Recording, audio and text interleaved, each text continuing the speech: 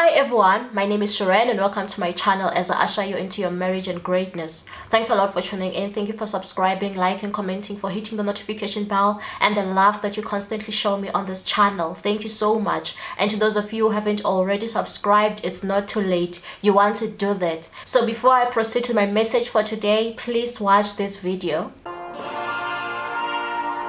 Did you know the most crucial time in a relationship is the first few days because it takes a man less than six months to know if he will marry you or not. So you want to get yourself this book so you do things right from day one.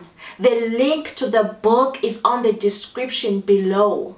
So yes, my book is out. You really want to get hold of it so you can read it and practice it because as much as there's a part that is played by God, there's also a great element that you play as a human being in terms of attracting your spouse and having a successful marriage. So I hope that you'll do yourself a favor and get yourself that book today. So the word that I have for you today is saying God sees that you've been trying to get his attention.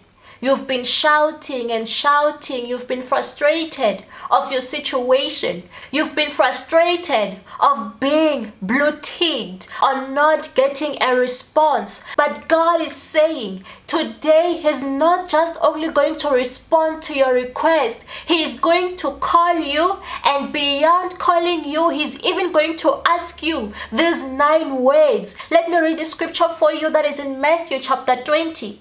It says from verse 30 Two blind men were sitting by the roadside, and when they heard that Jesus was going by, they shouted, Lord, Son of David, have mercy on us. The crowd rebuked them and told them to be quiet, but they shouted all the louder, Lord, Son of David, have mercy on us. Jesus stopped and called them, What do you want me to do for you? Those words again, these are the nine words. What do you want me to do for you? He asked. Lord, they answered, We want our sight. Jesus had compassion on them and touched their eyes. Immediately they received their sight and followed him.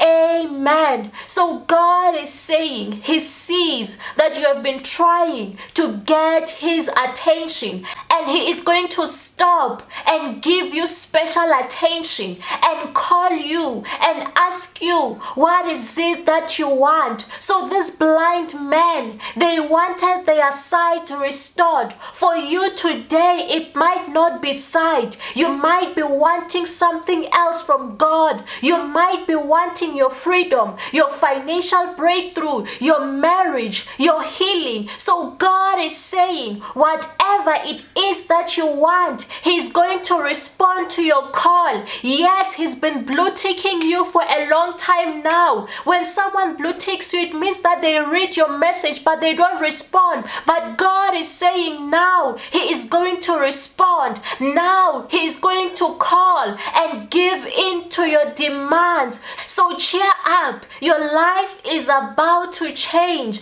So receive your sight from the Lord. May you be able to see every good thing that this life has to offer in the name of Jesus. Amen. I hope that you were blessed by this word. And if you were blessed, don't forget to like, to subscribe, to hit the notification bell, to buy my book, and also to share this video. Thank you so much.